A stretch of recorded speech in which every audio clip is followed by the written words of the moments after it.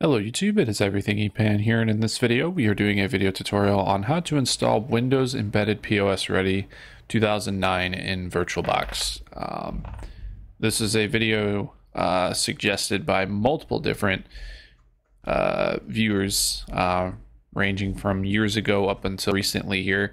Uh, so I figured this would be a good one to get out um, for this. So um, this was used, of course, uh, for point of service uh, devices, um, hence the name POSReady.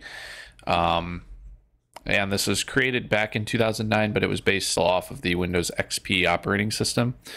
Um, you'll see that when we uh, go through the install. So, um, what you'll need for this, uh, of course, VirtualBox will be in the description if you do not already have it.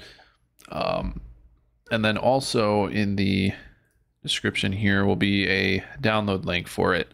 Um, this will be straight off of Microsoft's website. There's that download link here for it. Uh, so you just hit download and it'll download the ISO file there for you. Um, once you have those things here, what we can do is just make sure uh, you have VirtualBox open. We'll make a new virtual machine here. I'm just going to call it Windows Embedded POS Ready 2009. Um, and then for this, we can actually set it to uh, Windows XP 32-bit um, and next. And then I'm going to give it 2 gigs of RAM. Um, you can bump it up some for sure. You don't have to have 192 megabytes uh, if you can up it. Uh, we're going to create a virtual hard drive. Um, you'll want you can choose any of the uh, options there. So any anything on the uh, file type, anything when you get to the dynamically allocated or fixed size, you can pick either one of those. Uh, read the description if you need, and then pick your capacity if you want to leave it at the recommended of 10 gigs or increase it if you'd like. Uh, once that machine's created, we'll go ahead and go into settings. And we'll go to storage. We'll get the ISO inserted by hitting empty and then hitting the disk and choosing a file. I was on the list here, but I'll go in anyways. It should be called POSReady 2009 underscore CD. We'll insert that and hit OK. And then we should be good to start the machine. So it'll start up our virtual machine here. And as you can see, of course, it's got the Windows XP boot screen. Um, as said, it is based off of the Windows XP operating system and just let it load through the setup here. It'll ask to press any key for a command prompt. We'll just let it continue on. And then here is the setup. So um, on the welcome screen there, just go ahead and hit next. And then on this, do the uh, interactive setup and hit next. And then it is going to ask for a, a, uh, product key here. So um, there should be, uh, if you search, do a Google search of the product key here, you usually should be able to bring that up if you aren't able to see this um, in this here. So um, I'm going to go ahead. We'll get that uh, entered in here really quick and uh, make sure that the key gets entered for that. All right, so it'll come up with the uh, license agreement here. And once that comes up, make sure to accept that and hit next. And then you want to type in your name um, and organization if you want, but should just need a name. Hit next. Um, you don't have to do the additional storage drivers. Um, we'll just I'm just gonna install the third party ones. I guess here, even if you try to, it comes up with that message. Yeah. Uh, can leave it at no additional storage drivers. Go ahead and hit next, and then this is where we will select the partition or where to install this at. So we'll select the unpartitioned space here, and then we will go ahead and create a partition. Just use all the space and hit OK. And then once it creates that partition, we should be able to select that and the next option will become available. And then for formatting, we'll just leave it at NTFS, uh, default allocation unit size. You can name it whatever you'd like on this. Um, you can leave it at new volume. I'm just going to name it Windows. Pick a drive letter if you want. Usually C is the default anyways. Go ahead and check perform a quick format. Actually, probably wouldn't even take long if you didn't do it. So you can do that if you want. I'm just going to do a full format and then hit next.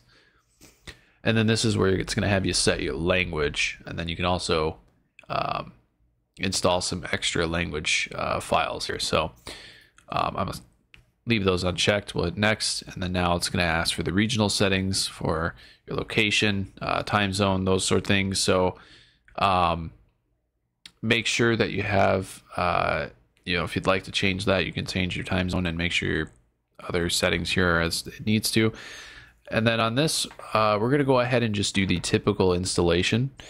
Um, and then hit next. And it's going to ask what to name the computer and if you want to add an administrator password uh, on that. So you name whatever you want, and then the password is required in this case. So um, just type in a password that you will remember. Then hit next. Um, just leave this all the same. Um, this was, of course, used for businesses with static uh, addresses and everything, but don't need to worry about that. So we'll hit next, and then we can leave this as a work group and hit next. And then it's just going to confirm everything we've kind of selected through here on the install. Uh, so we should be good on that. So we'll hit install. And so it's going to go ahead and format the partition, copy the image, and then uh, do the detecting of hardware and other setup here. Um, so basically, once you get through all those prompts and you get onto this, uh, just kind of let it do its thing. Um, should run through fairly smoothly on its own. Um, and then eventually, I think it will come up to a restart point. So um, we're just going to let this run through. And then I'll come back to you guys once we uh, hit kind of towards the end of this page or the next, uh, you'll get into that restart here. Uh, take that back. Here it is. So we're going to go and reboot that. Um, that came very quickly there. Uh, do not press any key to into the CD. You'll go into a constant loop, so just be aware of that.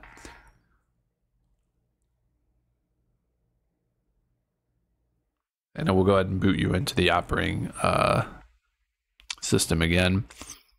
And it's going to go through some more of the installation. Um, so just kind of let it run through here. Uh, this will be this little first boot agent window, and it'll run through some other um, processes in the setup. So I will let this run through, and now that it will take a little bit, I'll let it run through and come back to you guys once that is finished. All right, so after running through all those prompts, we'll go ahead and do a reboot here. Again, do not press any key boot from the CD or you'll keep going in that loop. And then we'll go ahead and load up once more. And then we'll go through some other setup prompts here. So um, should run through some more of these here and just kind of let it do its thing. So um, we'll let us run through and we'll come back once it's uh, finished running through these here.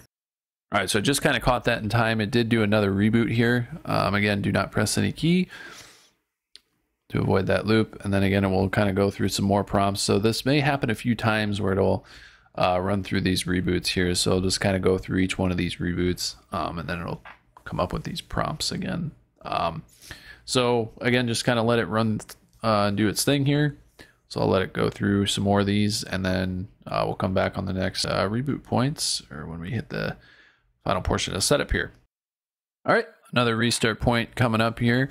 Um, will load us into the operating system again. Some more uh, prompts will come up. So um, once again, we'll just let them run through these uh, again and then uh, come back on the next uh, restart point here. Uh, just kind of running through these prompts. All right, so actually on that last prompt here, we'll actually uh, go ahead and uh, bring us up to the logon screen here. Now, of course, you can't just hit OK to log in. You do need to type some credentials. So um, username should be administrator, and then the password is whatever you set that to before um, during the setup. And of course, it will log in. It'll play the classic Windows XP uh, startup sound there. And here we are with having um, the uh, operating system installed here. Now, as for guest additions for this, um, if we do an insert of the image and attempt to uh, do an install of it here, um, you know, looking through, you'll see the version here. Um, of course, it's included with Service Pack 3 of uh, XP files here. So um, just kind of give you a basis on that. And if we also do a WinVer, you'll see uh, the build information and OS information here. So, um, yeah, when you run through uh, guest additions, you can uh, try the installation here. Um, and it'll go through with installing the drivers. Might get some prompts that'll have you reboot. And it'll log us off and restart the uh, machine here after installing guest additions. Whether or not this will make any automatic changes to the resolution of the display is yet to be seen. We will see if that changes after this is done rebooting. So it'll have us on that shutdown prompt, and then the machine will reboot.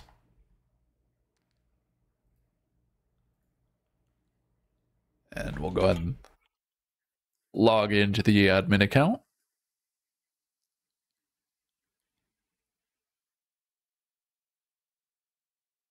And actually, it did make it smaller here um, by the looks of it.